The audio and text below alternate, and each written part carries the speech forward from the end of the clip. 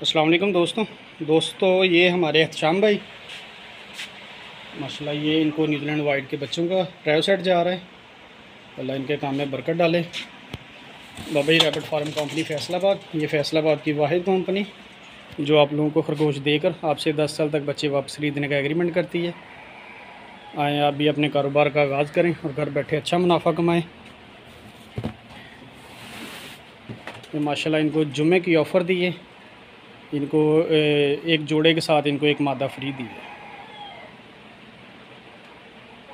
क्योंकि हर जुमे वाले दिन हमारी ऑफ़र होती है और ये ऑफ़र मौके के ऊपर दी जाती है। इनको एक पेयर के साथ एक फ़ीमेल इनको, साथ गिफ्ट दिया इनको।